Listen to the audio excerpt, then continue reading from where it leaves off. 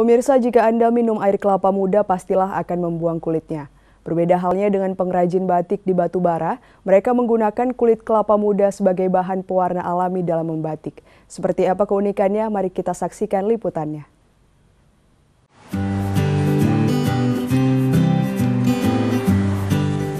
Para pengrajin batik yang dikenal dengan nama batik Juicy di Desa Binjai Baru, Kecamatan Datuk Tanah Datar, Batubara, kini mulai beralih menggunakan pewarna alami.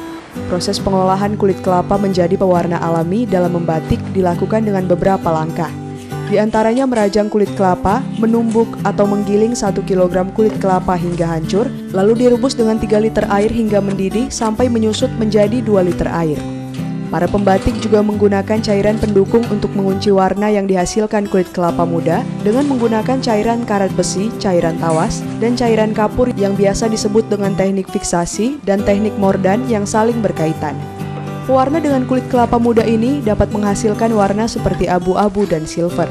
Tidak hanya itu, para pembatik juga menggunakan pewarna alami lainnya seperti daun mangga, kulit mangrove, kulit manggis, majakani, kunyit, dan pewarna alami lainnya. Salah satu pengrajin batik, Susi mengatakan, selama dua tahun menjadi pengrajin batik pewarna alami ini sudah mereka gunakan dalam setahun terakhir. Selain hasilnya tak kalah bersaing dengan pewarna kimia, pewarna alam ini juga sangat nyaman dan tidak memiliki dampak negatif bagi kesehatan pengrajin dan masyarakat sekitar.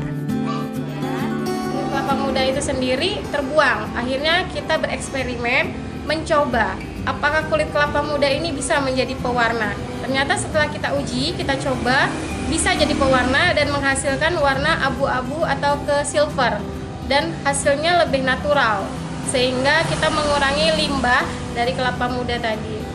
Proses pewarna alam ini tadi tidak akan merusak alam sehingga apabila kita selesai mewarnai air-air pewarna tadi kalau kita siram ke tanaman itu jadi pupuk termasuk kelapa muda tadi. Tak hanya menghasilkan kain dan baju batik, para pengrajin batik juga membuat tas dari kain batik. Kain batik dijual dengan harga bervariasi, mulai dari Rp30.000 hingga Rp300.000 per meternya. Dalam satu bulan penggunaan pewarna alam bisa menghasilkan 300 potong kain batik dan kini semakin banyak diminati para konsumennya.